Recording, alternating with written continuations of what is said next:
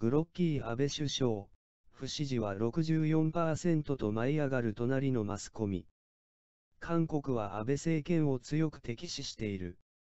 その中央日報が、毎日新聞が外部に委託した直近の世論調査結果で、安倍内閣に対する支持率が27%まで落ち込んだと報じている。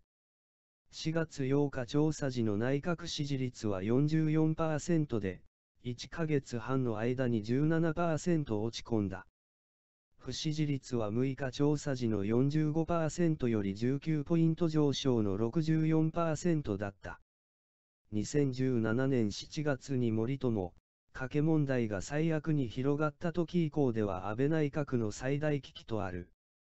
安倍政権は検察幹部の定年を内閣の判断により延長できる法改正まで試みた。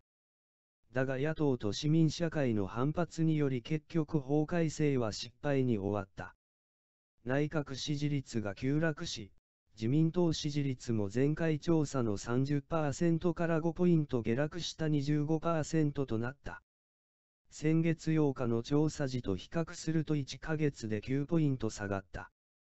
支持率20%台は日本の首相には政権維持の危険水域とされる。今回の支持率下落はアベノマスクに象徴される新型コロナウイルス対応の失敗、予算の私的流用をめぐる議論が絶えない桜を見る会問題。検察定年延長法改正失敗など求心力低下、賭け麻雀による黒川検事長の落馬など様々な要因が複合的に絡んでいる。急な不支持激増は、もはや安倍首相の挽回が容易ではないと捉えられる。日本の政治に明るい有力報道機関幹部は新型コロナウイルス対応の真っ最中のためすぐには安倍首相が退いたりしないし、退くこともできない。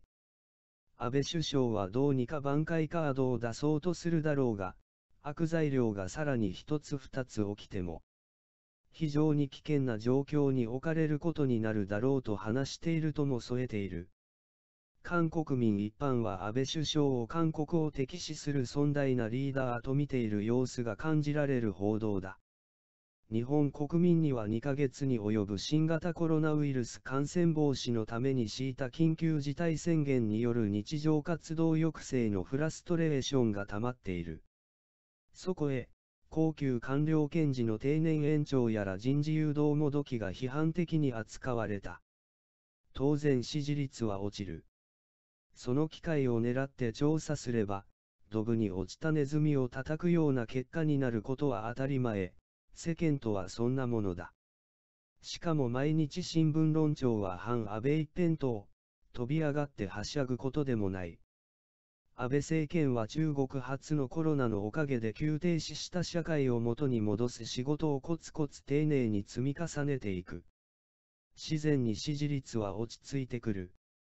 せっかくなら、その時の世論調査で論じられたらいかが。お聞きいただき感謝申し上げます。